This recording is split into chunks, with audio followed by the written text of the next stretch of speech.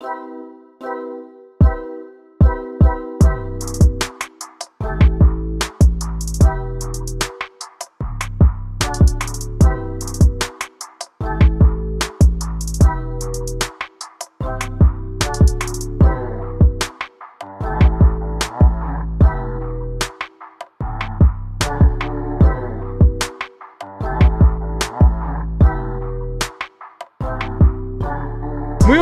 ¿cómo estáis? Y bienvenidos a un nuevo vídeo. Hoy tenemos día de presentación, hoy vamos a estar con un coche muy especial y no, no es el coche que está a mi espalda, que también es muy especial y le tengo un aprecio enorme, es mi Mazda MX-5, pero no, hoy no os voy a hablar ni de mi Mazda MX-5 ni del Ford Puma ST que estáis viendo a mi espalda. Hoy vamos a hablar del nuevo Kia EV6, el nuevo coche eléctrico de Kia, un coche que es un salto muy importante para la marca, no solo por el hecho de, bueno, pues ofrecernos el nivel de electrificación que nos ofrece, sino también por el lenguaje de diseño, por las tecnologías, por todo el cambio que supone en, en la marca coreana. Así que tengo por aquí el estudio, el espacio donde nos lo van a presentar. Si os parece, vamos con la intro, voy para adentro y ahora os lo enseño.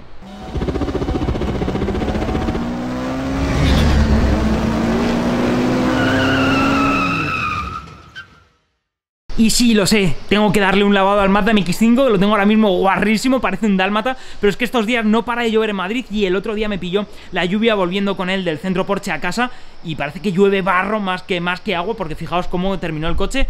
Y ya que estamos, os tengo que traer de nuevo al canal al Ford Puma ST porque como me gustó cuando lo estuve probando y hay, hay aún muchas cosas que contar de este Ford Puma ST. Ahora sí, vamos para adentro y os enseño al Kia V6.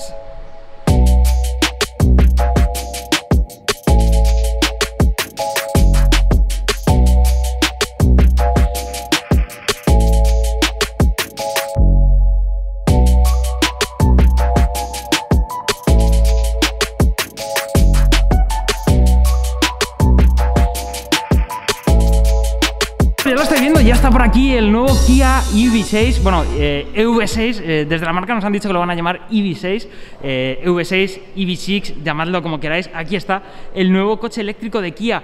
Cuando lo presentamos el otro día, cuando fue el lanzamiento, la verdad es que tuvo una muy buena acogida en el canal. Nos dejasteis muchos comentarios preguntándonos por este, por este coche y ahora tenemos rueda de prensa y en cuanto termine la rueda de prensa me pongo a enseñároslo a fondo, pero la primera, eh, la primera sensación, la primera impresión es muy positiva, un diseño muy diferenciado, un diseño muy conceptual pero llevado ya al coche de producción. Esto es un coche de calle, esto dentro de nada lo vamos a ver con matrícula y no puede tener mejor aspecto. Así que vamos a la rueda de prensa y ahora os lo enseño bien, ahora cotillamos el habitáculo y os cuento todos los detalles.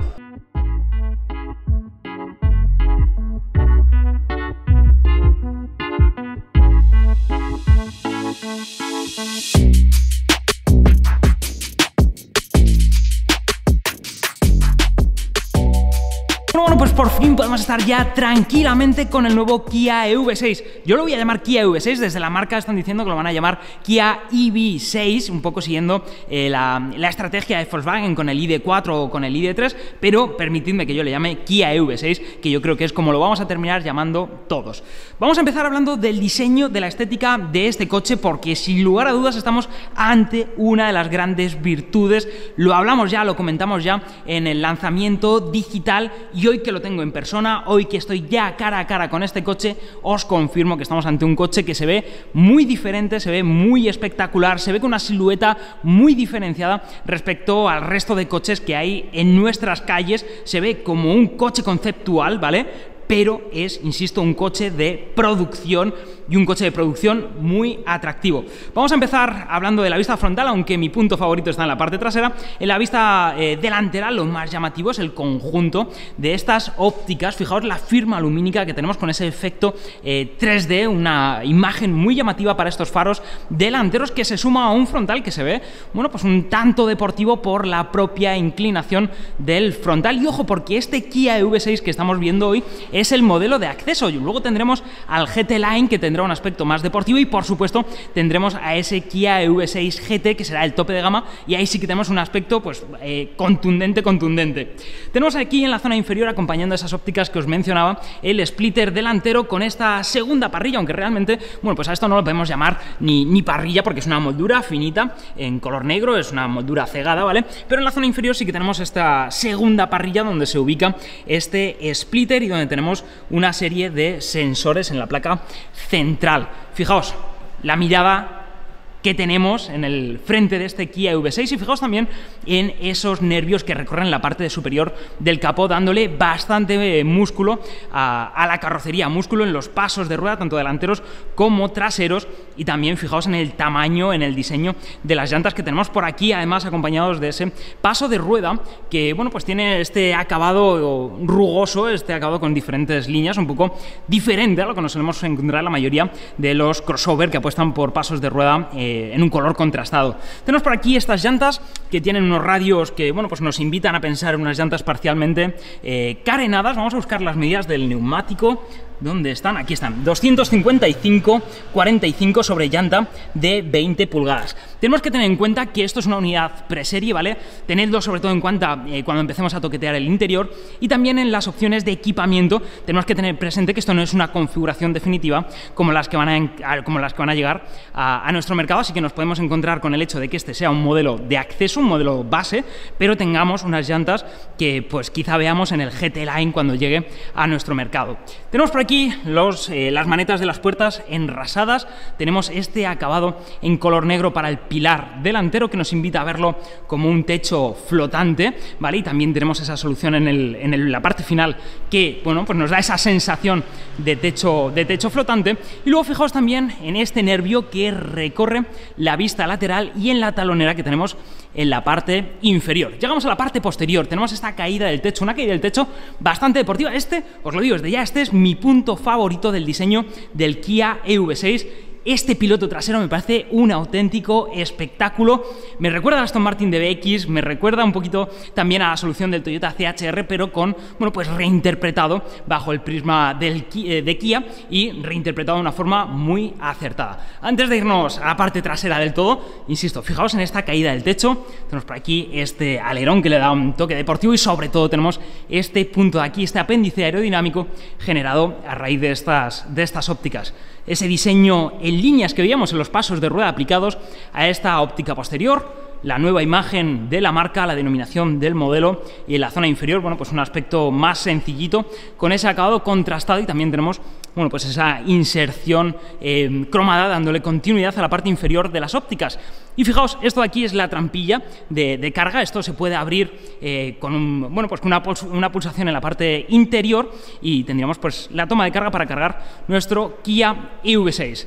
¿Qué os parece a vosotros? ¿Os gusta? ¿Nos gusta? A mí me gusta y me gusta mucho, me parece un diseño muy rompedor, me parece un diseño muy innovador, me parece un diseño muy conceptual y me parece que Kia ha acertado de lleno con el aspecto de este Kia V6. Vamos dentro. Vamos al interior de este Kia V6 para entrar. Tenemos este tirador enrasado, ¿vale? Que, bueno, pues la verdad es que nos ofrece una buena sensación a la apertura y cierre, hay que tener en cuenta que es una unidad preserie por lo tanto, bueno, pues muchos de los acabados, muchos de los ajustes, muchos de los materiales empleados, pues quizá terminen, eh, bueno, pues diferenciándose un poco de los que nos encontramos en el coche de producción, pero la verdad es que la primera sensación que he tenido con este coche ya es de bastante calidad. Imagino que luego reforzarán ciertos eh, ajustes para el coche definitivo, pero la sensación de calidad es muy positiva y yo soy muy fan de los tiradores enrasados.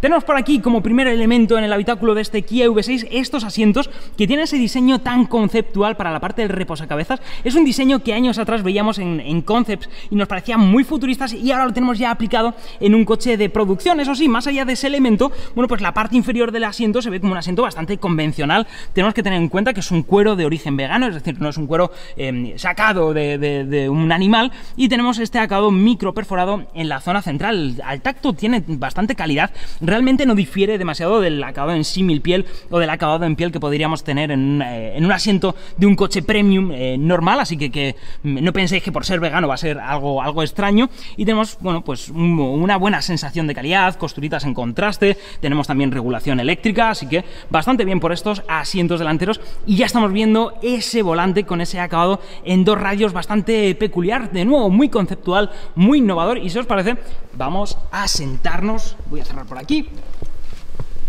Bueno, pues también tenemos una buena sonoridad al cierre y sobre todo transmite la sensación de ser una puerta, bueno, pues que pesa poquito, una puerta ligera. Tenemos este volante que os estaba mencionando, dos radios, tengo por aquí el selector de los modos de conducción y luego tengo una botonera pues más, más convencional con estas palanquitas y con estas superficies en negro piano para los botones eh, principales. Y luego tenemos esta instrumentación digital que se convierte en otro de los grandes reclamos de este interior. 12,3 pulgadas para esta pantalla y 12,3 pulgadas también para la pantalla que tenemos eh, para el sistema de entretenimiento, ambas unidas en una disposición muy semejante a lo que tenemos, por ejemplo, en el Volkswagen, en el Volkswagen Golf. Y la particularidad de estas dos pantallas es que tienen esta disposición curvada que, bueno, pues eh, refuerzan la imagen más futurista de este eh, Kia EV6. Una muy buena interfaz y bastante información para esta, para esta pantalla eh, de la instrumentación y un sistema multimedia que teniendo en cuenta que es una unidad preserie, pues me está pareciendo bastante, bueno, pues que está bastante bien resuelto, muy fluido, muy completito. Normalmente los coches preserie fallan un montón los sistemas multimedia, se cuelgan y demás. Y en este, bueno, pues me estoy encontrando ya un buen rendimiento. Voy a toquetear un poco los diferentes menús que tenemos. Por ejemplo, tenemos aquí un menú eh, relativo a la, parte, a la parte mecánica o la parte eléctrica con información sobre la carga, con información sobre la, autonomía disponible. Podemos eh, también programar las cargas o programar, imagino, la preclimatización, efectivamente. Y, bueno, vamos a toquetear alguna cosita más. Tenemos para... Eh, ah, bueno, voy a ver esto de aquí porque creo que tenemos... vale, esto creo que no es Madrid. Eh, ah, sí, sí es, sí es Madrid, sí. Digo, a lo mejor han precargado, pasa a veces que con los coches preserie pues tienen precargado un mapa de otro, de otro lado, pero sí, sí, es, es Madrid efectivamente, e imagino que tendremos información sobre los puntos de carga disponibles. Vamos a ver, vamos a toquetar un poquito más de este sistema multimedia. Tenemos por ahí el apartado de la parte eléctrica, tenemos por aquí el navegador, pero yo quiero ver el mapa, así que vamos a ver si le doy aquí a Carte tendremos, eso es, el mapa disponible de este sistema multimedia. Fijaos, eh, no tenemos lag alguno, aun siendo un coche preserie, pinta muy bien este sistema multimedia. También tenemos por aquí un mando de la... le he dado mal. Ahora sí. Tenemos un mando para la climatización. Podemos regular la temperatura del coche desde este sistema multimedia, aunque también tenemos mandos físicos. Y ahora os hablaré más de esto porque me ha parecido una solución muy innovadora y que me gusta mucho. Ya sabéis que yo soy muy fan de agrupar todo en el sistema multimedia, pero marcas, si me lo ponéis como lo ha hecho Kia, me gusta y me gusta mucho. Eh, bueno, pues, insisto, un sistema multimedia que me está convenciendo, que se ve muy fluido y se ve muy completo y por supuesto que tiene lo último en lo que a conectividad se refiere. Tenemos por aquí este acabado rugoso, mm, bueno pues me gusta el tacto que tiene, es, es durito, ¿vale? Pero, pero tiene un tacto muy agradable y transmite una buena sensación de calidad. Y en la parte superior también tenemos material duro, pero Ojo porque me está gustando, aun siendo material duro, me gusta cómo está resuelto y transmite mucha sensación de calidad este acabado que tenemos en el salpicadero. Bueno, en la zona inferior estamos viendo por aquí esta, esta zona iluminada, ¿vale? Y tenemos por aquí estos mandos que nos permiten regular la climatización del coche. Por ejemplo, si lo hago así, ya estáis viendo se enciende esa pantallita, ¿vale? Pero ojo, porque esto, perdón si se cuela ahora un poco el sonido del aire, vamos a bajarlo. No, no quiere bajar. Estas son de las cosas Ahí está, ahí está bajando ya la presión del aire. Vale, eh, lo que me gusta de, este, de, este, de estos mandos para la climatización es que son manual, eh, perdón, son táctiles y por ejemplo podemos presionar aquí, tenemos accesos directos a una serie de mandos de la climatización, así que me gusta y me gusta mucho esta, esta pantalla porque eso aúna los mandos físicos de siempre con, bueno, pues una perspectiva más innovadora utilizando estas eh, superficies táctiles. Por aquí otro elemento bastante particular que es esta consola central flotante, tenemos por aquí el botón de arranque, tenemos por aquí los mandos para la climatización de los asientos y también para la calefacción del asiento. Ya estáis viendo que por aquí, bueno, pues es una, bueno, una isla, una isla central por aquí, bueno, pues esto ayuda a dar una sensación, eh, primero, de innovación, de diferenciación, y en segundo lugar tenemos pues una gran sensación de, espacio disponible. Tenemos al fondo una toma USB y en la zona inferior tenemos también otras dos tomas USB, además de un gran espacio disponible bajo, bueno, pues para, bajo esta isla principal. Tenemos por aquí el selector de, marchas, el botón de aparcamiento, el auto hold, cámaras, y por aquí tenemos un punto de carga eh, por inducción para nuestro smartphone. Una disposición bastante peculiar porque esto normalmente o está eh, bajo la consola central o está escondido y aquí lo tenemos aquí disponible con un acabado en goma que va a hacer que nuestro móvil no se esté moviendo. Está acabado en negro piano, tenemos esta inserción en aluminio, tenemos esta iluminación, pero mucha sensación de calidad en este interior. Es una es un interior que se diferencia por completo de lo que nos encontramos en la mayoría de los coches y me está gustando mucho el, salto que está dando Kia con este producto, eh, diferenciándose mucho de la mayoría de las marcas, diferenciándose mucho de lo que están haciendo otros, otros fabricantes y me parece muy interesante, una sensación muy tecnológica y muy diferenciada. Por aquí tenemos más material, bueno, pues como en el aspecto que teníamos en el salpicadero, pero aquí sí que tenemos un acabado mullido para este reposabrazos y por aquí tenemos, bueno, pues un gran hueco porta objetos bajo el reposabrazos y fijaos todo el hueco que tengo bajo esta isla principal que es, es una pasada. Eh, bueno, pues muy bien por el espacio eh, disponible, muy bien por los acabados, muy bien por los ajustes, muy bien por la sensación de innovación que tenemos en este y con el asiento delantero fijado para mi altura, vamos a ver qué tal anda de espacio esta fila posterior. Fue una de las grandes promesas que nos hizo Kia cuando se presentó este Kia EV6 y hay ganas, hay ganas de comprobarlo. De momento no me he sentado en este asiento trasero, sí que lo he visto desde fuera, así que acabo de regular el asiento delantero para mi altura, 1,80m. Vamos a ver qué pasa con el espacio disponible, porque vaya, ojo, a todo el espacio que tengo para las piernas. Bueno, aquí no tengo espacio para los pies, pero me da igual porque fijaos en todo el espacio que tengo a la altura de las piernas. Es bestial, es brutal todo eh, la habitabilidad que tenemos en este, en este sentido en las plazas traseras de este Kia V6 y ojo porque la plaza central no tenemos túnel central, todo el suelo es plano gracias a la disposición de las baterías y bueno pues el mullido del asiento es un poquito más durito, tengo la sensación de ir un poquito más, más alto pero bueno, pues gracias al hecho de que no tengo túnel central ganamos puntos de confort respecto a la mayoría de los coches del, mercado. Vamos a cotillar, voy a cerrar por aquí y vamos a cotillar algunos de los puntos que nos encontramos en este interior. Estoy viendo aireadores, que esto es una disposición muy premium, esto es una disposición de coches muy caros y lo hemos aplicado aquí en este Kia V6. Estoy viendo también el, sistema de sonido Meridian de 14 altavoces, además creo que han jugado con el tema del aislamiento de sonidos de fuera y demás, eso lo analizaremos cuando tengamos la oportunidad de eh, conducirlo y tenemos por aquí tomas USB eh, introducidas en la carcasa de los asientos. Eh, bueno, pues otro detalle más de innovación, otro detalle más de diferenciar este producto respecto al resto de los coches normales.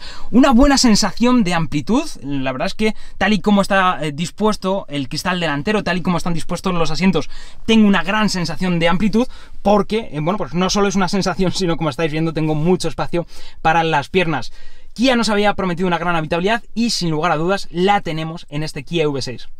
Tenemos por aquí el pulsador, ahí está. Tenemos un portón con apertura eléctrica y tenemos una capacidad de carga de 520 litros en este maletero. Bueno, tengo por aquí la, la cortinilla superior, la tengo eh, ahora mismo bajada, eh, quitada, perdón. Y tenemos por aquí este doble fondo pequeñito, perfecto para los eh, cables de carga de este Kia V6. 520 litros de, de maletero, es un buen maletero. Además, fijaos en el tamaño del portón y las posibilidades de cara a cargar objetos voluminosos en este en este maletero. Además, el suelo de carga es bastante planito, no está especialmente alto, así que tenemos un muy buen maletero en este Kia V6. Pero ojo, porque este no es el único maletero que tenemos disponible. Al frente, bajo el capó delantero, tenemos un maletero que en función de la versión puede ser de 20 o de algo más de 50 litros, que bueno, pues de cara a guardar los cables que os decía que podemos guardar en ese doble fondo, de cara a guardar el portátil o una chaqueta de más, pues también lo vamos a agradecer bastante. Vale, ¿y cómo es la gama de versiones de este Kia EV6? Bueno, pues tengo por aquí la chuleta, porque entre baterías, eh, que si tracción trasera o tracción total, potencias y demás, tengo un cacao de cifras, así que tengo aquí la chuleta, no me lo tengáis en cuenta y como siempre os digo, en la descripción del vídeo tendréis todos los detalles al respecto, pero bueno, vamos con, vamos con ello. Tenemos dos paquetes de batería, tenemos un paquete de baterías de 58 kilovatios hora y otro de 77,4 kilovatios hora. Eh, tenemos configuraciones tanto de propulsión como de tracción total y la gama empezaría con los 170 caballos con una versión que con la batería de 58 kilovatios hora nos ofrecería una autonomía de acceso de 400 kilómetros. La versión más capaz tiene 510 eh, kilómetros de autonomía, sería ya con, el, con la mecánica de 229 eh, caballos, en ese caso también es propulsión, también es tracción a un solo eje y con la batería de 77,4 eh, kilovatios hora. Por encima ya estarían los GT Line que nos ofrecerían potencias de 228 o 325 caballos con 475 o 450 kilómetros de autonomía respectivamente y como tope de gama tenemos a ese Kia EV6 GT que se planta en los 585 caballos, ahí es nada, ¿vale? Y nos ofrece una autonomía en el caso de acudir a esta versión más, más prestacional de 400 kilómetros. Habrá que ver cómo, bueno, pues cómo trabajan la puesta a punto para diferenciar una versión de acceso con esos menos de 200 caballos respecto a ese Kia eh, EV6 GT de 585 caballos. Pero, insisto, todos estos datos que os he dicho y aún más datos eh, los tendréis en la descripción del vídeo para no volveros locos y en el momento en el que, ahora con todo lo que he soltado así de golpe, y en el momento en el que tengamos la oportunidad de conducir a este Kia EV6, eh, bueno, pues no solo os ofreceremos detalles sobre la, dinámica que es capaz de ofrecernos, sino que ahondaremos en cómo han trabajado la puesta a punto eh, de esta plataforma, una plataforma que Kia, bueno, Kia y Hyundai, que es una plataforma que también eh, utiliza Hyundai y que vimos recientemente con el Ioniq,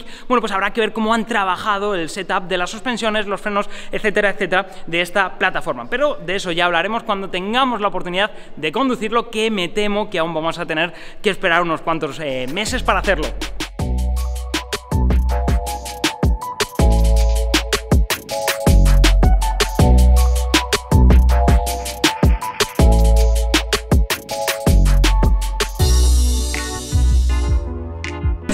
De vuelta por el estudio porque realmente teníamos poco tiempo con el Kia EV6 y he dicho, bueno, pues la parte de la conclusión, la parte del, precio, que evidentemente también es muy importante, bueno, pues he preferido hacerlo ya desde aquí porque os lo puedo contar ya tranquilamente y puedo madurar un poco esas primeras impresiones que he tenido con este Kia EV6 que me llevo un muy buen sabor de boca. La verdad es que el coche ya me gustó cuando eh, la marca nos lo presentó en esa presentación digital y confirmo esa buena sensación que tuve inicialmente después de verlo ya en persona, después de toquetearlo, después de estar un buen rato sentado, bueno, un buen rato, un ratito sentado en, su interior. Tengo ganas ahora de empezar a sumarle kilómetros, tengo ganas de salir a rodar ya con este Kia EV6 porque espero, es eh, ahora el gran temor que tengo, espero que Kia haya sabido y haya querido darle personalidad también a su dinámica, porque tenemos un producto con carácter visual, tanto en su exterior como en su interior, tenemos un producto que a priori eh, se postula como un producto bastante interesante, y ahora tengo ganas de ver a Kia dándole, bueno, pues también personalidad a, a, su dinámica. Y no solo me estoy refiriendo a esa versión de 585 caballos, que evidentemente pues es la más tentadora y es la que más ganas tengo de conducir, sino que también espero que las versiones de acceso, esa opción de 170 caballos, pues también tenga carácter y se sepa diferenciar de otros productos eléctricos que simplemente, bueno, pues aspiran a ser un coche cómodo y un coche con el que ir de A a B sin más pretensiones. Así que espero, insisto, que Kia haya sabido darle personalidad y haya sabido darle carácter eh, y haya querido darle carácter a este Kia EV6. Me ha gustado la sensación muy innovadora que tenemos tanto a la hora de hablar del exterior como a la hora de fijarnos en el interior. Me ha parecido que tenemos un buen sistema multimedia, me ha parecido que tenemos también una buena instrumentación en términos de diseño, también me ha gustado bastante y sobre todo me ha gustado que Kia ha cogido y ha dicho, vale, vamos a replantear el cómo tiene que ser un interior sin, a ver, sin hacer tampoco eh, ningún disparate, ¿vale? Pero sí que se han replanteado ciertos aspectos que parece que tienen que ser siempre iguales en los interiores de, todos los coches y nos encontramos con esa isla flotante, encontramos con esa pantalla curva, nos encontramos con una serie de conceptos que me gustan y me gustan mucho. La sensación general de los ajustes es buena, tenemos ese pedazo de habitabilidad que os he enseñado en las plazas eh, posteriores y bueno, insisto, como os he dicho, ahora tengo ganas de, y, se me ha metido lo insisto en la cabeza y lo estoy repitiendo, la muletilla de insisto, no hay forma de sacarme de la cabeza y últimamente en todos los vídeos la repito hasta la saciedad, así que perdonádmelo. Eh, pero bueno, ahora hay ganas de ver ya cómo se mueve este, este Kia V6 y ver cómo gestiona también el consumo de, de sus baterías ya en circunstancias reales, ver mm, cómo quedan esos más de 500 kilómetros que, anuncian ya en nuestro día a día en circunstancias eh, cotidianas. Em, bueno, por supuesto, en cuanto tengamos la oportunidad de analizarlo, en cuanto tengamos la oportunidad de probarlo, os lo traeremos al canal. Y ahora para terminar queda hablar del precio de este Kia EV6 y hoy estoy tirando bastante de, chuletas, mm, voy a coger el portátil para hablaros también del, del precio de este Kia EV6 porque al final tenemos tantas variantes, tantas versiones. Bueno, y eso que este mm, Kia EV6 no es como el ID4, que eso ya sí que es de locos, pero aún así tenemos bastantes cifras y sobre todo tengo ya aquí en el portátil, tengo las cifras con los descuentos disponibles eh, para el lanzamiento de este Kia EV6 y ojo, estos datos que voy a dar eh, no son con las ayudas a la compra del coche eléctrico, sino que son simplemente con los descuentos de la marca. Tenemos un precio de partida de 42.200 euros para la versión de 170 caballos, que ya sabéis que utiliza la batería más modesta, la batería de 58 kilovatios hora. Si nos vamos a la opción de 77,4 kilovatios hora, que partiría ya desde los 229 caballos y con una configuración de propulsión, es decir, esta es la variante de mayor autonomía, de 510 kilómetros de autonomía, tendríamos un precio de 46.100 euros. Y esta yo creo que va a ser la opción más vendida, porque aunque no es la más barata, si tenemos en cuenta la diferencia de precio que hay entre la versión de acceso y esta variante, con ese aumento no solo de potencia, sino también de autonomía, yo creo que esta va a ser la opción más vendida. Que nos vamos a la opción con el acabado GT Pues ya estaríamos hablando de 50, cerca de 50.500 euros. Si nos vamos al tope de gama, si nos vamos a la versión de 585 eh, caballos con 400 kilómetros de autonomía, tendríamos un precio de 59.385 euros, pero sobre todo, insisto, y otra vez, otra vez he dicho, insisto, em, yo creo que lo más interesante va a ser, bueno, pues esa opción con 229 caballos, propulsión y con eh, eh, esa autonomía de 510 kilómetros. Voy a dejar el portátil por aquí y voy a ver si, si no lo tiro, que eso de estar con una mano eh, con la cámara y con otro el portátil no me parece una buena idea. Bueno, os dejaré todos los datos, precios incluidos en la descripción del vídeo, así que no os olvidéis de echarle un vistazo y con esto llegamos al final de este nuevo vídeo. Quiero saber ahora qué os ha parecido a vosotros este Kia EV6.